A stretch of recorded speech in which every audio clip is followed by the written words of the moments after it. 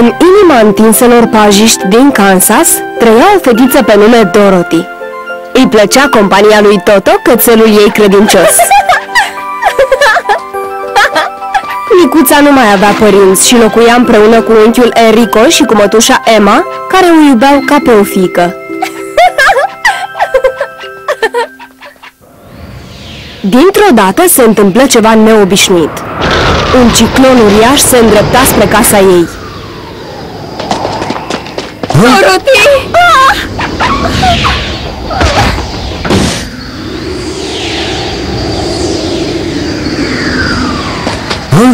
Oh, nu! Dorothy! Unchiul și mătușa văzură casa ridicându-se răsucită de ciclon și odată cu ea, din păcate, iubita lor nepoțică Dorothy.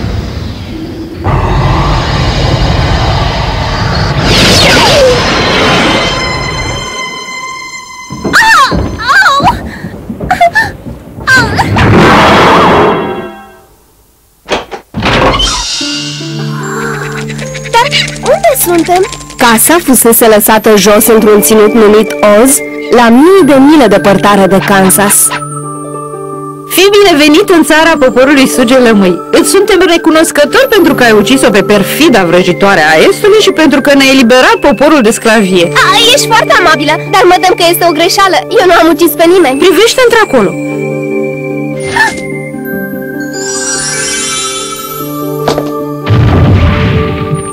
N-ai ucis pe nimeni, ci casa ta, vezi? Perfida vrăjitoare a Estului a ținut în puterea ei pe poporul Sugelămâi mulți ani și acum tu l-ai eliberat. Și tu ești din poporul Sugelămâi? Nu, dar sunt prietenă. Eu locuiesc în ținutul din nord. Și tu ești vrăjitoare? Mhm. În ținutul Oz trăiau patru vrăjitoare. Vrăjitoarele Estului și a Vestului erau ticăloase, în timp ce vrăjitoarele Nordului și Sudului erau bune, adică zâne. A, vă rog, vreau să mă întorc la unchii mei. Mă puteți ajuta să găsesc drumul? Cum? La est, la vest și la sud, nu departe de aici, este un deșert întins și nimeni nu este în stare să-l traverseze. Îmi pare tare rău, dar nu cred că te poți întoarce la unchii tăi. Nu mă pot întoarce la unchii mei? Dar cum? Nu te necăji. Poate că există o cale. Adică? Trebuie să te duci în orașul din Smaralde și să ceri ajutorul vrăjitorului din Noz. Poate că el te va ajuta. Vrăjitorul din os? Dar măcar e bun? Desigur, totuși nu îți pot spune cum arată, deoarece nu l-am văzut niciodată. Ah, Îți urez noroc, micuțo. Imediat, pe fruntea sărutată apăru un semn rotund și strălucitor. După aceea îi dădu să încalțe pantofiorii de argint ai vrăjitoarei Estului și arătă drumul cu pietre galbene care ducea în orașul din Smaralde. În acea noapte, Dorothy și cățelul ei fură găzduiți de un locuitor din zonă.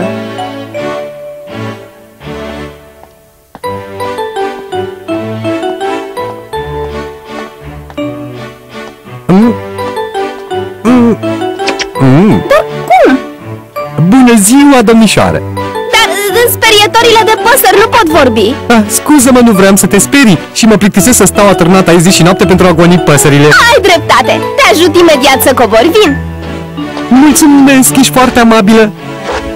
Ah, ai, oh, uh, ah, i, ah, ah, mii de mulțumiri, acum mă simt mult mai bine.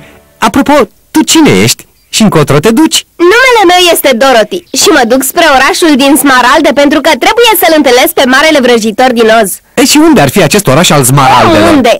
Nu ai auzit niciodată vorbindu-se despre Ai, el? nu, nu știu nimic, eu sunt făcut din paie, n-am nicio bucățică de creier. Cum? Nu ai creier? E o problemă să trăiești fără creier Ce idee! Vino și tu în orașul din Smaralde Sunt sigură că marele vrăjitor din Oz ți-ar putea dărui unul Ura! Ce idee fantastică! Voi fi fericit să vin cu voi! După dumneavoastră! Sperietoarea de păsări reușea să vadă și în întuneric și Dorothy se simțea mult mai liniștită cu ea. În acea noapte se refugiară într-o căsuță din lemn. Dimineața de vreme porniră să străbată drumul cu pietre galbene. Uh, uh, uh. Uh,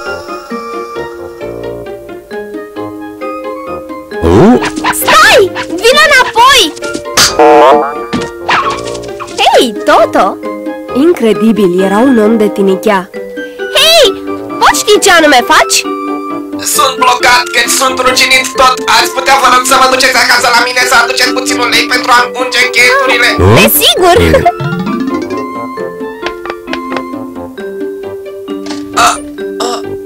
mulțumesc! Mi-ați salvat viața! De un an n-a mai trecut nimeni pe aici! Dar spuneți-mi, voi ce faceți prin părțile astea, a? Am dormit în colibata și acum ne îndreptăm spre orașul din Smaralde pentru a-l întâlni pe Marele Oz. Dar de ce vreți să-l vedeți pe vrăjitor? Eu aș vrea să mă ajute să mă întorc în Kansas și sperietoarea de păsări ar dori să aibă puțin creier în cap. Am înțeles. Și credeți că dacă îl voi ruga frumos ar fi dispus să-mi dăruiască o inimă? Desigur, sunt convinsă că vrăjitorul din Oz o va face. Haide, vino cu noi!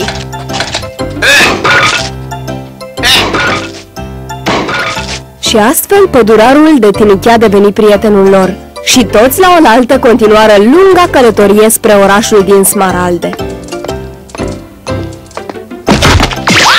Ah! Sperietoare de cior, e totul în regulă?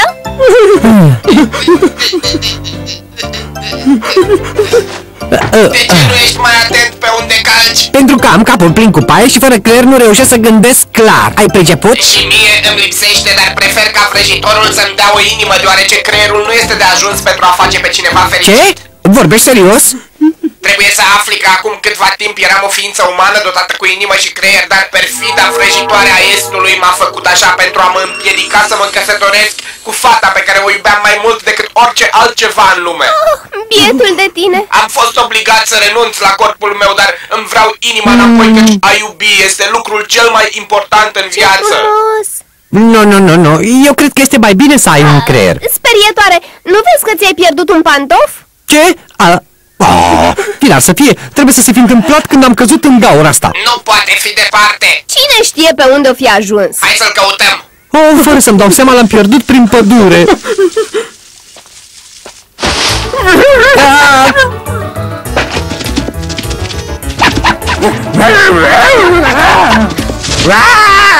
Gata, încetează! Să-ți fie rușine! Mare și gras cum ești, îți pui mintea cu un cățeluș mult mai mic decât tine!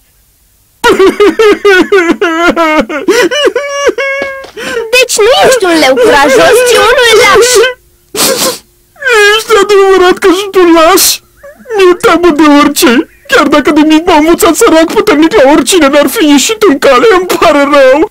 Cât aș vrea ca cineva să-mi dăruiască puțin curaj. Ai putea veni cu noi la vrăjitorul din os să-i cer să te ajute să devii curajos! Și așa, încă o dată, micul alai porni la drum, escortat de asta dată de figura maestoasă a leului cel laș.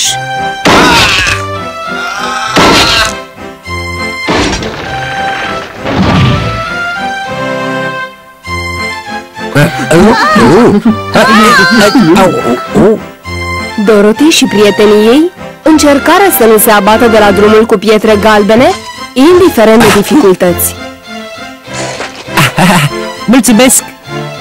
Câteva zile mai târziu au ajuns la porțile orașului Smaraldelor. Paznicul dădu lui Dorothy și prietenilor ei să-și pună niște ochelari cu lentile verzi și conduse la poarta de intrare pe care o deschise cu o cheie uriașă. Apoi fură primiți în fața marelui vrăjitor din Oz.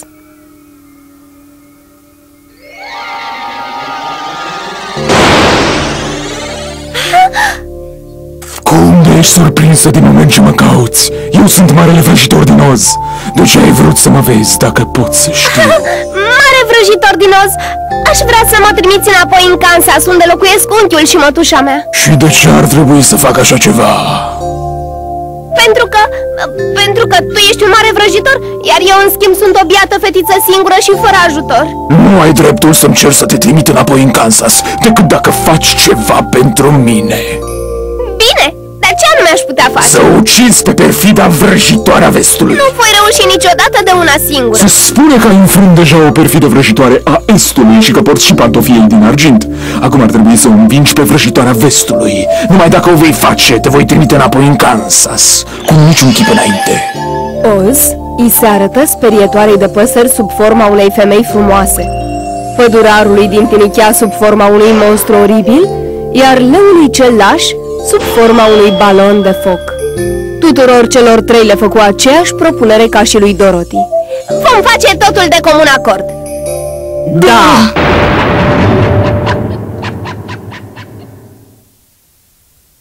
Dorothy și prietenii ei porniră, deci, spre ținutul în care trăia perfida vrăjitoare a vestului.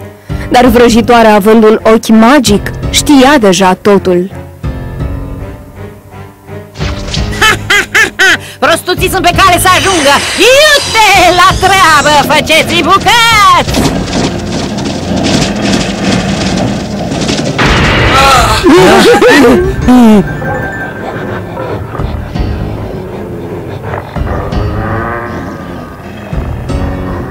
Ce aștepți ca să ne aperi? Nu ești tu regele animalelor? Nu contează, lăsați pe mine, mă ocup eu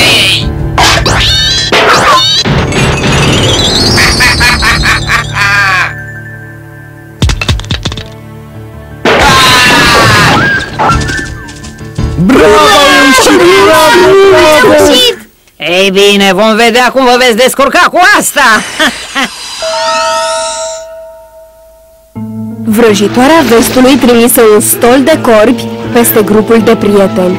E, Stați puțin, de asta dată este rândul meu. Eh. Eh. Eh.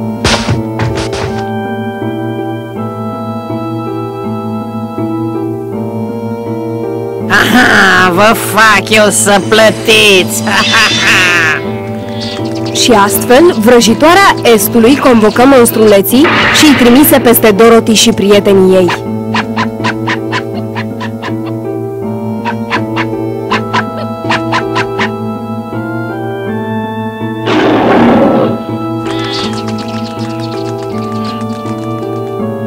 Dar și aceștia fură învinși. Nu pot să cred! Au făcut-o și de asta dată! Atunci vrăjitoarea vestului decise să recurgă la pălăria fermecată.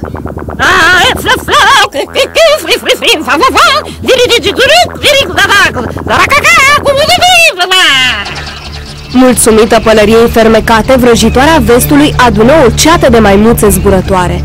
Aceste animale ascultau de persoana care avea pălăria magică și îndeplineau trei dorințe. Dar acum era deja a treia oară când vrăjitoarea recurgea la puterea magică a pălăriei. Vorbește, care este ultima ta dorință? Am fost invadați de străini! Vreau să fie eliminat! Bine, o voi face.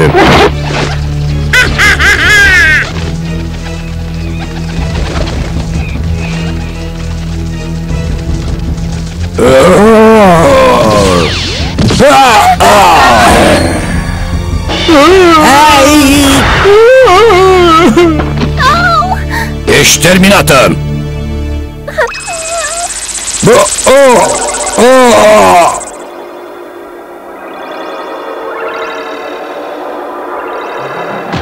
Fetița aceea este protejată de semnul forței binelui. Nu pot face nimic împotriva ei. Ți-am poruncit să elimini dușmanii invadatori! Ce te-a apucat de nu mai asculți de poruncile stăpânilor tăi? Crede-mă, n-am putut face altfel, doamna mea, să-ți explic. Și la un moment dat, și n-am putut... Ah, nu. Da, trebuie să mă folosesc de șiretenie. Aceia sunt chiar pantofii care i-au aparținut vrăjitoare Estului. Mai întâi, perfida vrăjitoare a vestului decise să se folosească de Dorothy ca servitoare. Între timp, ar fi așteptat momentul propice pentru a-i sustrage pantofiorii din argint. A reușit! A reușit! Dar nu ai fost cinstită! Dă-mi imediat pantoful! De acum încolo mi-aparține și fi convinsă că mi-l voi procura și pe celălalt! Ești o bătrână ticăloasă! Prinde asta! Îți dai seama ce ai făcut? Numai apa mă poate nimici.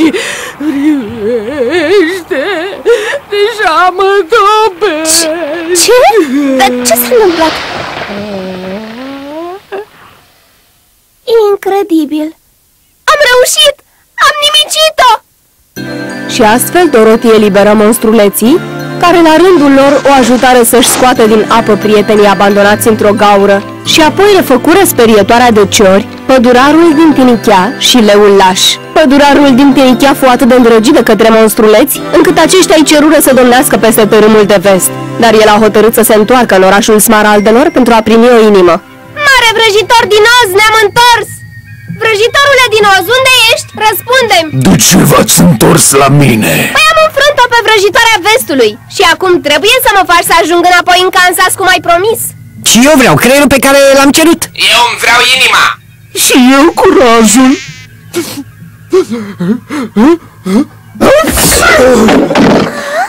Și dumneavoastră cine sunteți?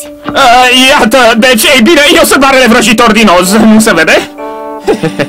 De fapt, Oz nu era un mare vrăjitor și doar un simplu iluzionist de circ. O vreme m-am ocupat de balonul zburător, adică în zilele de spectacol mă urcam în el pentru a atrage publicul, dar într-o zi un vânt m-a ridicat spre cer și am ajuns în acest oraș pierdut. Poporul sugele măi m-a luat drept un mare vrăjitor și m-a primit cu dragoste și respect. Și ai construit orașul Smaraldelor prefăcându-te că ești un vrăjitor foarte puternic? Da, dar întotdeauna am stat cu frica în sân. Dacă vrăjitoarea vestului sau vrăjitoarea estului ar fi descoperit adevărata mea identitate, m-ar fi ucis. De aceea sunt fericit că știu că ați înfrânt-o și pe vrăjitoarea vestului. De aceea n-ai făcut propunerea în schimbul favorurilor cerute. E, tocmai. Totuși nu mă gândeam că veți reuși. Toate bune, dar din păcate eu nu dețin puterile pentru a vă îndeplini dorințele. Poftim? Atunci, dacă ne-ai mințit, ești și un mare mincinos. Nu este adevărat. De fapt, sunt o persoană bună. Nu trebuie să mă judeci greșit, dar încearcă să înțelegi și ca vrăjitor sunt un adevărat dezastru. Asta înseamnă că nu mă poți ajuta să mă întorc în Kansas. Și nu vei putea dărui un creier? Și inima mea? Și curajul meu! Mm, Aș putea încerca ceva. Așteptați măcar până mâine. Ce zici, Dorothy? În ziua următoare, vrăjitorul din Oz făcu rost de un creier pentru sperietoarea de ciori, o inimă pentru pădurarul din Tinichea și o doză bună de curaj pentru leul cel laș. Așadar, în sfârșit, toți erau fericiți, chiar dacă era vorba de o ficțiune. Pe de altă parte, vrăjitorul din Oz știa foarte bine că fiecare avea un creier, o inimă capabilă să iubească și mult curaj. Dorothy hotărâ să se întoarcă în Kansas împreună cu vrăjitorul din Oz la bordul unui balon aerostat, căci se întâmpla ca vrăjitorul din Oz să fie originar chiar din Kansas. Trebuie să plec într-o călătorie lungă. Cât timp lipsesc, sperietoarea de păsări se va ocupa de acest ținut. Din păcate, înainte ca Dorothy să urce la bordul balonului, vântul făcu o nouă glumă. Nu, așteaptă-mă! Pierzând speranța de a se întoarce acasă, Dorothy, disperată, se puse pe plâns. Deodată observă pălăria magică a vrăjitoarei vestului și în interiorul acesteia văzu formula magică ce trebuia rostită. Epe, pepe, flo, flo Cu, cu, cu, cu, firin, fan, fun, ziri, ziric, zuc, zuc, ziric, zaraza Dar din păcate află că nici maimuțele zburătoare nu o puteau duce înapoi în Kansas. Am înțeles, nu există nicio cale pentru a mă întoarce acasă Mi se pare prea devreme pentru a renunța, nu crezi? Dacă aș fi în locul tău, aș cere un sfat glindei, buna vrăjitoare a Un sudului. sfat de la Glinda, vrăjitoarea sudului? În ziua următoare, Dorothy și prietenii ei porniră la drum spre ținutul ușuraticilor, condus de zâna sudului. Pe drum se rătăciră într-o pădure cu pomi vii, dar se salvară mulțumit abilităților pădurarului din Tinichea. Leul cel laș dădu o lovitură unui păianjen uriaș și decise că din acea clipă avea să fie unicul și incontestabilul rege al pădurii. Apoi cerură ajutor maimuțelor zburătoare și, lăsând în urmă ultima colină, ajunseră în adâncul regatului sudului, unde locuia Glinda. Ei bine, Dorothy, am înțeles. Fii liniștită, voi încerca să-ți îndeplinesc dorința. Cu adevărat? Vorbești serios? În schimbul acestui lucru, ești dispusă să-mi cedezi pălăria ta magică? Sigur, cu plăcere Mulțumită acestei pălării, sperietoarea de păsări se va întoarce în orașul de Smaralde, pădurarul din Tinichea în țara monstruleților și leul laș în pădurea în care trăiesc prietenii lui. Dorothy, tu în schimb te vei putea întoarce acasă la unchiul și mătușa ta, folosim pantofiorii din argint. Poftim? Cu pantofii ăștia? Trebuie să bați de trei ori din tocuri și să spui unde vrei să ajungi și în acel moment vei ajunge unde vei dori. Dacă aș fi știut dinainte Ne vei lipsi mult. Da, a sosit momentul să ne luăm la revedere. Nu te voi uita niciodată, Dorothy. Nici eu nu vă voi uita Bine, acum trebuie să pleci. Ești gata? Da, la revedere la toți și vă mulțumesc Vă mulțumesc pentru tot Hai, Toto Duceți-mă imediat la mătușa Emma și la unchiul Enrico